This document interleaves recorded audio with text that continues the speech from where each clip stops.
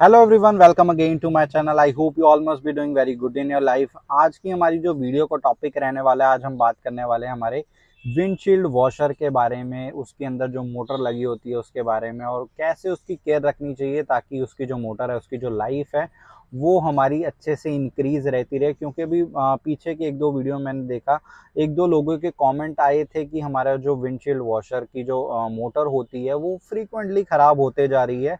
उसके पीछे का क्या रीज़न हो सकता है? तो उसके पीछे का जो रीज़न है, वो आज मैं आपको इस वीडियो में अच्छे से डिस्क्राइब करने वाला हूँ कि उसके पीछे रीज़न क्या है और कैसे आपको को प्रिवेंट करना है और हमारी कार के लिए जो वॉशर फ्लूड आते हैं, वो कौन से बेस्ट होते हैं और किस टाइप के वॉशर फ्लूड आपको यूज़ नहीं करने चाहिए आपकी कार के अंदर? तो इस वीडियो में हम वो सारी की सारी डिस्कशन करने वाले हैं।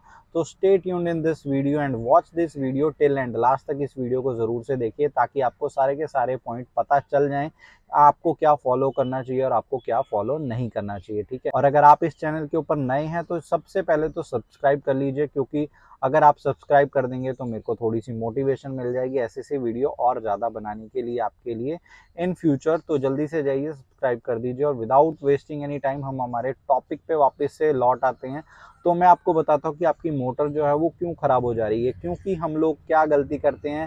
बहुत सारे इंडियंस हम ये गलती करते हैं। हमारी जो विंडशील्ड क्लीन करने के लिए हमें वॉशर फ्लूड का ही यूज़ करना चाहिए। कभी भी हमें शैम्पू का यूज़ नहीं करना चाहिए।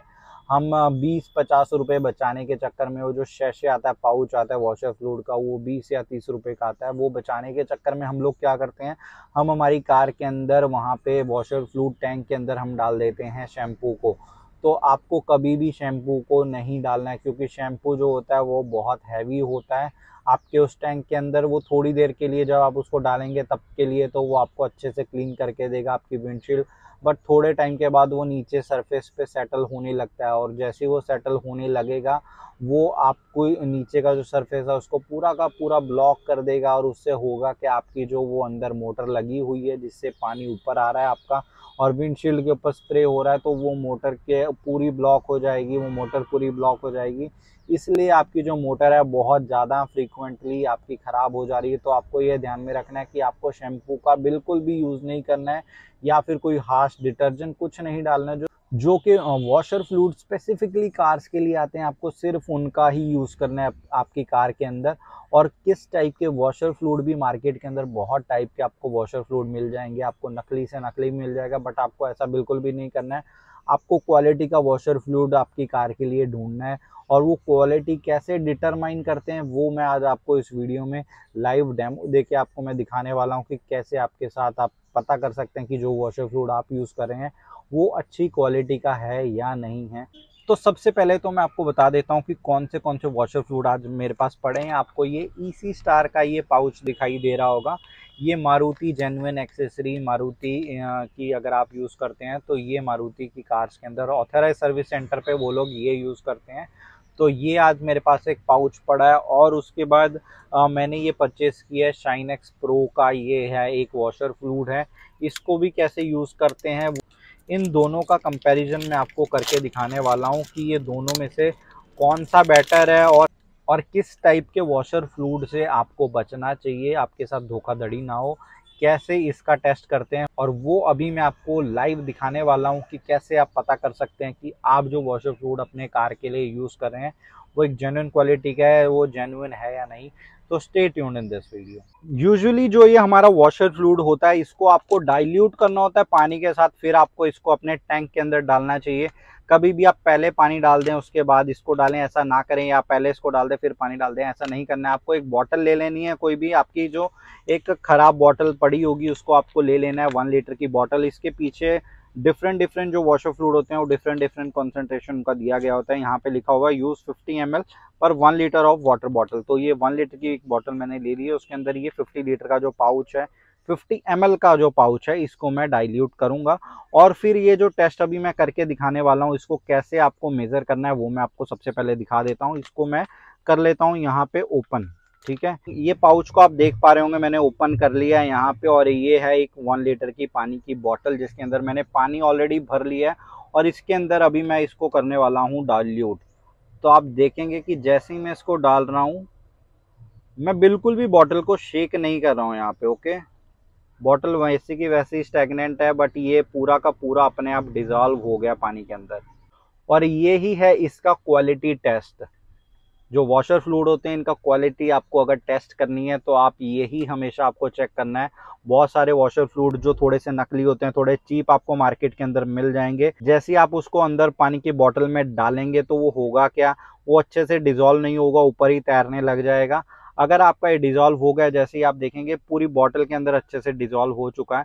तो ये जो इसी स्टार का जो ये वॉशर फ्लूड है this is a good washer fluid आप आँखें बंद करके इसको परचेज कर सकते हैं। और इसकी प्राइस क्या है, वो मैं आपको बता देता हूँ। इसके ऊपर सेवनटीन रुपीज़ का ये पाउच आपको कोई भी ऑथराइज सर्विस सेंटर पे मारुति के मिल जाएगा। आप ये परचेज कर सकते हैं। तो ये तो अपनी क्वालिटी टेस्ट में पास हो चुका है।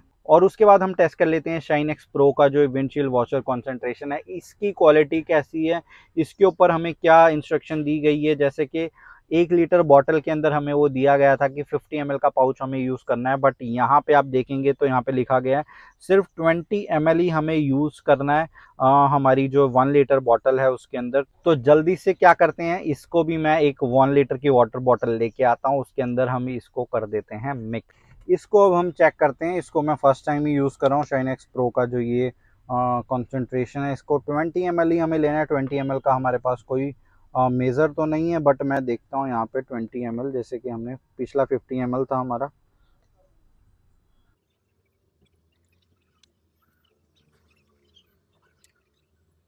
और आई होप कि 20 एम जो है वो इसके बॉटल के अंदर डल चुका होगा, उससे भी थोड़ा ज़्यादा ही है।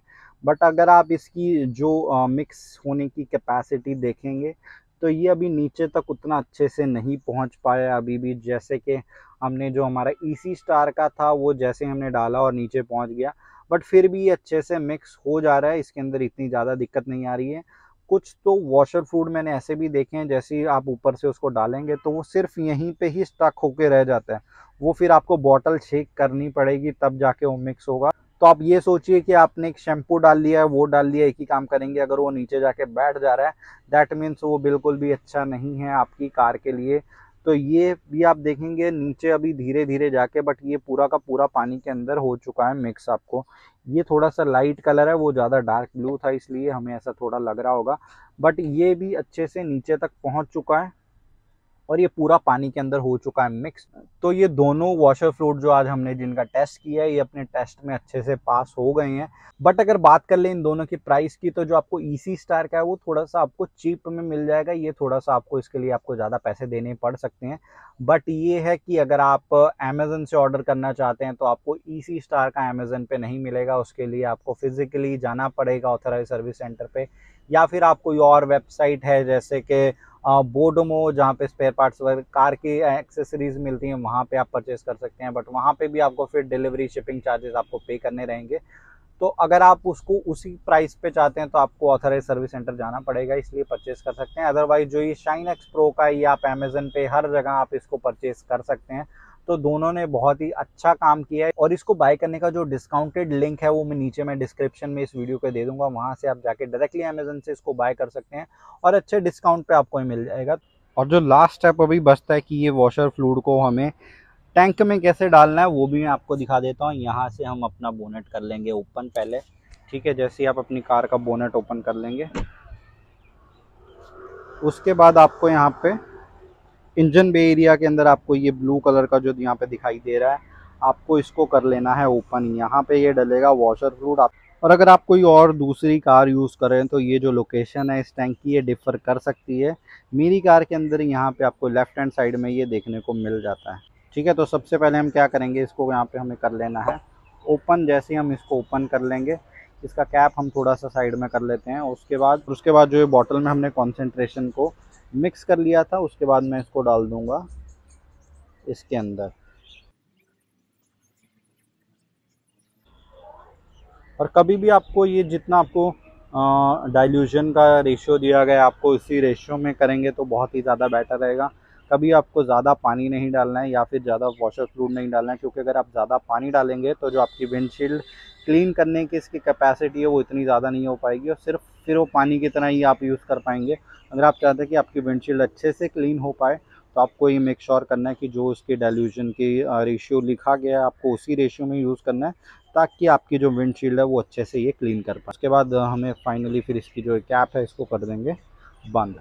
और एट दी एंड कैसा हमारा वॉशर फ्लूड हमारी विंडशील्ड को क्लीन करता है, वो आपको मैं एक बार दिखा देता हूँ।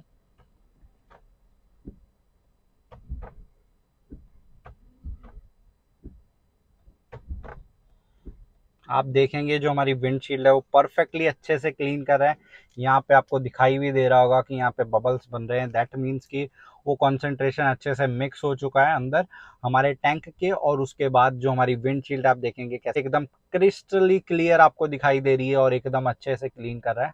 So thumbs up so that's it for this video guys I hope आपको ये वीडियो अच्छी लगी होगी इन्फॉर्मेटिव लगी होगी। आपको पता चला होगा कि किस टाइप के वॉशर फ्लूड आपको आपकी कार के अंदर यूज़ नहीं करने चाहिए और किस टाइप के यूज़ करने चाहिए और कैसे उनकी क्वालिटी आप खुद से ही टेस्ट कर सकते हैं, ये मैंने आपको एक मेज़र आपको दे दिया है, ये आप खुद से चेक कर सकते हैं। कोई भी वॉशर फ्लूड आपके पास आ रहा है, उसकी क्वालिटी आप चेक कर सकते हैं। और साथ में जो आपकी मोटर ख़राब हो जा रही है, वो मोटर ख़राब ना हो, उसके लिए आपको क्या करना चाहिए शैम्पू का या डिटर्जेंट का कभी भी यूज़ नहीं करना है आपको तो आपकी मोटर की जो लाइफ है, वो लाइफ लॉन्ग रहती रहेगी और अच्छे से वो काम करता रहेगा। सो so, कोई भी रीज़न से अगर आपको ये वीडियो अच्छी लगी हो तो लाइक किए बिना इस वीडियो को मत जाइएगा। लाइक ज़रूर से कर दीजिए। और अगर नहीं अच्छी लगी है तो आप डिसलाइक का बटन भी दबा सकते हैं। इतनी मेहनत करने के बाद भी अगर आपके कुछ आ, कोई सजेशन आप देना चाहते हैं कि ये ये आपने रॉन्ग किया है तो आप डिसलाइक भी ज़रूर से कर दीजिए। उसके लिए भी आपको बिल्कुल ना नहीं है। बट अगर अच्छी लगी है तो लाइक ज़रूर से करके जाइए इस वीडियो को। और चैनल को सब्सक्राइब कर लीजिए। और मिलेंगे अब हम आपसे नेक्स्ट वीडियो में। Till then stay safe stay happy bye